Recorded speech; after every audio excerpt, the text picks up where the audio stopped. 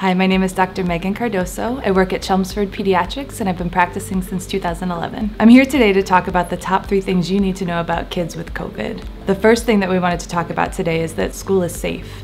So there have been lots of changes as kids are going back to school. There are things like social distancing, there's masks, um, lots of hand washing, which is different.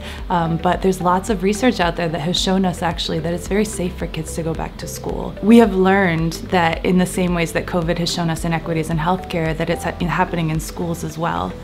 There are kids who don't have proper internet or Wi-Fi at home. There are kids who don't have enough to eat at home. And so getting kids back to school is not only um, good for their education, it's good for their life in general. It puts them back on a level playing field.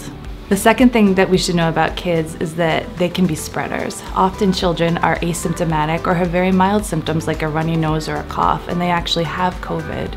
Uh, the good news is that they often don't get as sick as adults or grandparents, but it's important that we follow our pediatricians and the CDC's advice to get tested into quarantine for the appropriate amount of time.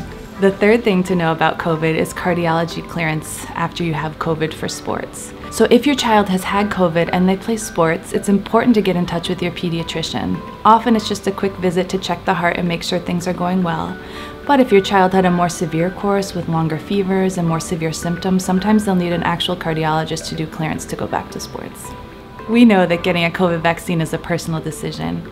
If you have questions about your children getting the COVID vaccine, you should call your pediatrician.